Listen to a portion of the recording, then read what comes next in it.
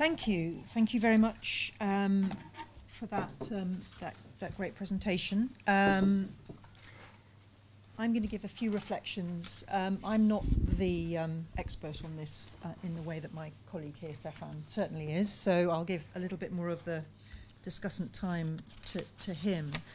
Um, but I do, I do have some things which I hope will help provoke a, provoke a discussion. I mean, I think the first thing to say is this is a really important topic.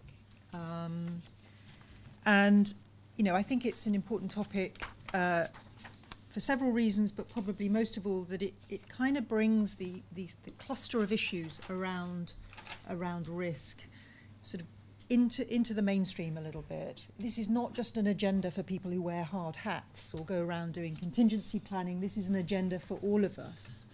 And I think the WDR um, does a very good job on uh, building a persuasive case why this is an agenda for, for all of us who work in and on and around development. So I think it's, it's very important from that point of view. As is in the, the, the good tradition of WDRs, it's also an incredibly comprehensive treatment of the issues. Um, WDRs have that reputation of, you know, grabbing an issue and then, you know, pretty much uh, looking at it from every possible angle. And this report certainly does much of that. It is very uh, wide-ranging in its consideration of, of types uh, and sources of risk, uh, although perhaps some might argue it could have spent more time really getting to grips with different taxonomies of risk. But nevertheless, it's a very wide-ranging treatment and a very wide-ranging treatment of issues around risk management. So um, it sort of continues that tradition of World Development Reports of being a very comprehensive report. And for any student of development who is thinking about looking into issues of risk and risk management, there's a fantastic, as always, bibliography that gives you all the latest uh, uh, references and, and, and evidence in, in that regard. But to some extent, I'm wondering whether that great strength of this report, which is its sort of comprehensivity, may also slightly harbour a weakness. Um, and I'm wondering if that weakness is, is that if, if everything, in a sense, can be seen through a risk lens, do we start to lose some analytical traction, if you like, around the concept of risk? And do we start to lose a sense of really what are the most crucial entry points for different actors in the process of, of um, both identifying and also managing or mitigating risk?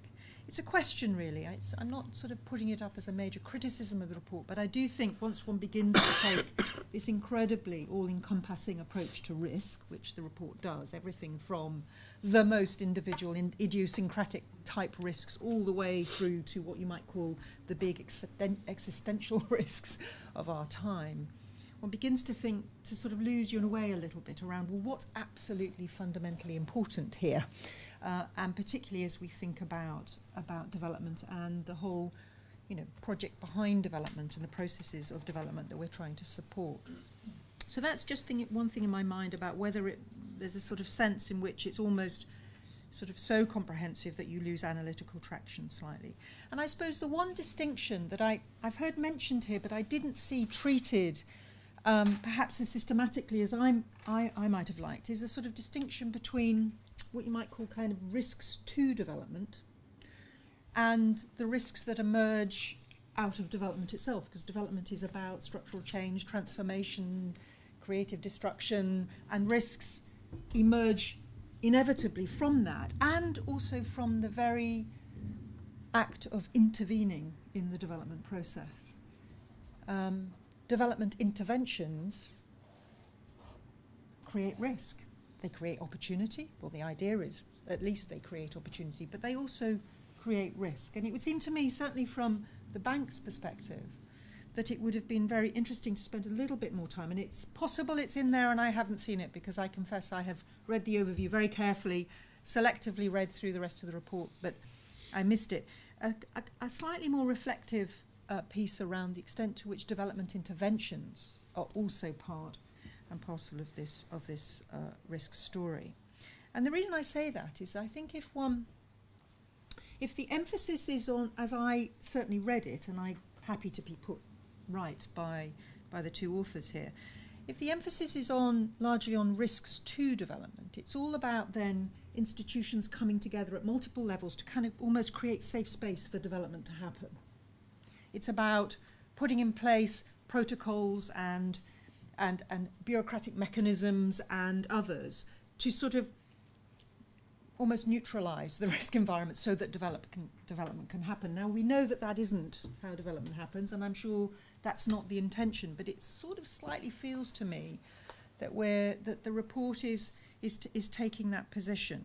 So the, the focus on risk management then becomes very much about, about a set of, of, of mechanisms that need to be put in place, and perhaps less about thinking through well, how does that very process of responding to risk and intervening in development in itself uh, generate risks that we need to try and get to grips with and have some response to.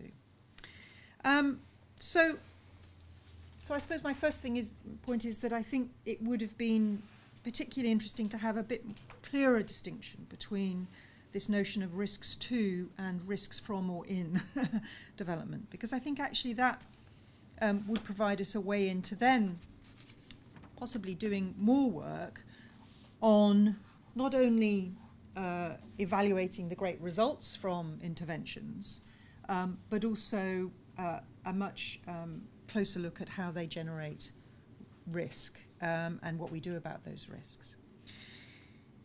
In some ways, the ver- the, if I take that thought and lead it to its logical end, it also um, raises a question about whether you know, the whole thesis around risk management can, in, in and of itself, harbour unintended consequences, which themselves can be risk creating. And I think you know one can get into sort of feedback loops that you can't ever escape from. But it seems to me that there needs to be more awareness about the extent to which um, many of the responses that go under the banner of risk management can actually have um, uh, risk consequences themselves. And I'm thinking here there's a lot of emphasis in the report on, on using various insurance type mechanisms. Um, there's acknowledgement of the, the relevance and the role of informal mechanisms, for example, of, of self insurance, if you like, and coping that take place within households and communities all of the time. And I think that's right, but I think we're also very aware that many of those mechanisms can also generate real losers, actually. They're not all equalising and risk sharing. I mean, there are there are real uh, challenges that take place even within those informal mechanisms. They can be very um, uh, beneficial for some, but not necessarily for all. And again, a little bit more of acknowledgement there. But I think on the other hand, um, you know, many of the suggestions around using insurance-based mechanisms to, to, to manage risk I mean, I think my understanding is that there, you know, there are many instances in which insurance-based mechanisms, for example, can create, you know, many unintended consequences, if you like, for those who are both insured or not insured. Um, there's a lot of enthusiasm for these type of schemes, whether it's you know weather-based insurance, index insurance, health insurance at the moment. My sense is that, that, that some of the evidence there is is beginning to throw up a number of, of, of downsides, if you like, or downside risks that emerge from those very interventions themselves. And I think we need more work, more empirical work, more evidence to show how those costs and benefits are actually distributed amongst amongst individuals. And it seems to me that there's not quite enough reflection in the report about how those interventions, insurance, it's the obvious response to risk, but actually a lot of people lose. So let's be clearer that these are not perfect solutions and they need to be adapted and so forth in the, in the face of evidence. Cash transfers. Lots and lots of enthusiasm. You know, I'm certainly one. The evidence on just give people cash as a way to help smooth expenditure, as a way to, to cover uh, uh, certain episodic costs and so forth. There's lots of really positive evidence. But equally, there's also a fair amount of evidence that they themselves can actually generate greater risks for some.